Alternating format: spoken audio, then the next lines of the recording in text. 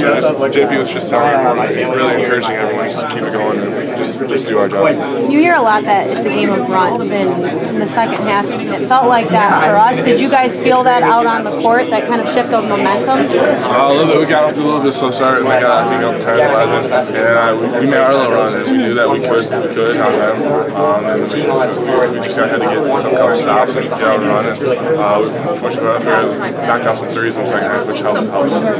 Thank you. What uh, what was Mo like in the locker room at halftime? Uh, he was quiet. He wasn't really saying much, but he he, he knew that he had to keep doing what he was doing. I mean, obviously he had a double double, so uh, he, had, he had the advantage down there. And I mean, he, he didn't say a lot, but a lot of other guys did, and we just had to stick together, and that's what we did. Is it like him to be quiet in that kind of moment? What? I said, is it characteristic of him to be quiet in that No, moment? he's, Or? he's, he's talking more. Uh, I think I think he was just in his little groove he, he was in, and I think he was just mentally locked in. And he, he was kind of sitting in the back over here, um, and eventually we moved him forward. Um, I think he, he was definitely locked in. He, he, he knew how big of a game this was for us, and he, he kind of just took over for us. What was it like in here in the locker room halftime? I mean, what was the It's quite an mood? experience getting to play for the Um, I mean, we were all chatting. Uh, we knew that we didn't play well, yeah, but we played great defense. And give credit to them, they played really good defense in the first half. And we knew that we, we could get a lot of open shots. I mean, and if someone I more was calling just first half, we knew that we could hit, genuinely surprised knock them down. And so we just I don't saying, usually- stick together, stick get this together, and attention. uh, eventually our shots would fall.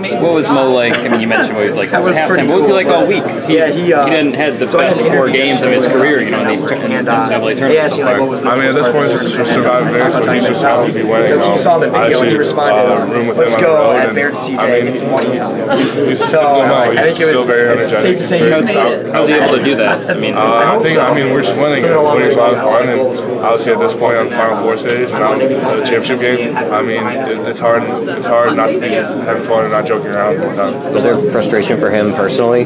Uh, I, I'm not sure. Maybe a little bit, but he doesn't show it a lot. Or if he does, we all try to calm him down. He's a very emotional guy. Um, so but he, he went out there and he played a very great game. Could you sense he had a game like this coming? Is there anything about his manner or something that he was going to do something pretty special? Uh, I mean, obviously, he was, he was probably due one for one this tournament. He has, a, I mean, he's had a great tournament so far, but uh, I think he, he just lives for big stages like this. And tonight he just came out and uh, performed really well.